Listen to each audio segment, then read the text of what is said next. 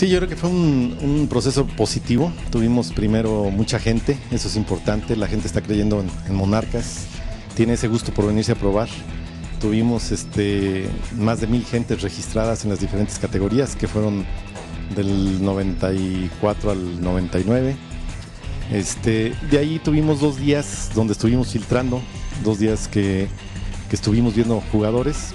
Hicimos un filtro para un tercer día. En ese tercer día ya nada más dejamos a los jugadores, este, obviamente que, que, más nos interesaron y que fueron citados ahora posteriormente para venir a un filtro final donde los vamos a medir con los jugadores que nosotros tenemos ya este, en los diferentes equipos.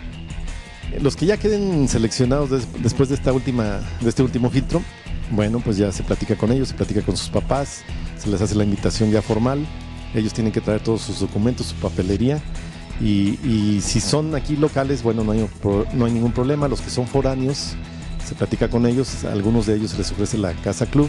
Algunos otros tienen familiares, pueden llegar ahí con sus familias. Los de casa club, además, este, bueno, se ve la cuestión de sus estudios para que puedan este, continuar con, con el grado que, que sigue en, en, su nivel académico. Se ve también este, la cuestión de sus desplazamientos a la casa club, su alimentación, sus tres comidas, en fin, todo, todo lo que concierne a lo que el club se va a hacer cargo ya de ellos. Un saludo para Notimonarca 7 de parte de Guillermo Arciga, del Departamento de Visorías de Monarcas Morelia.